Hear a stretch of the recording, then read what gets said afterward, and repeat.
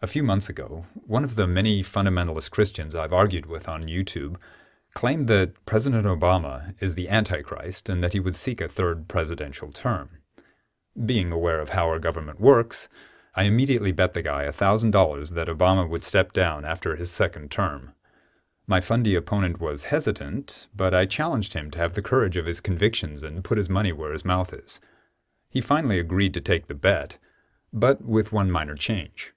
If he won, he wouldn't take my money, but I would instead have to delete all of my anti-theism videos and never make another such video ever again. Of course I agreed immediately. As the weeks went by, I kept up a dialogue with the guy so that he wouldn't forget about our deal.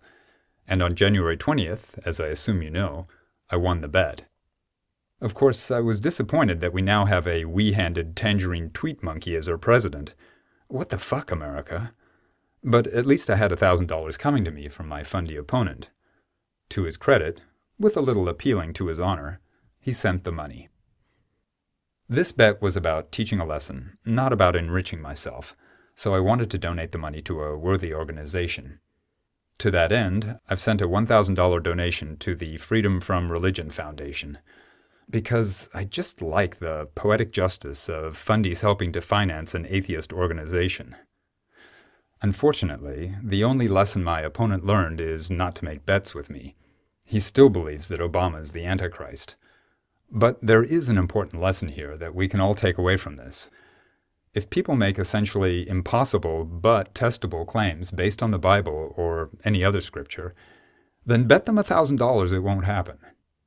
If they're hesitant, goad them by appealing to their convictions. After all, their religion teaches them not to doubt their beliefs and it's galling to them when an atheist is more willing to put his certainty on the line than they are. Not only should you end up with some money you can use to do some good, but you may even teach someone that claims based on faith are indistinguishable from claims based on fantasy. Oh, and one last thing. Thanks, Obama.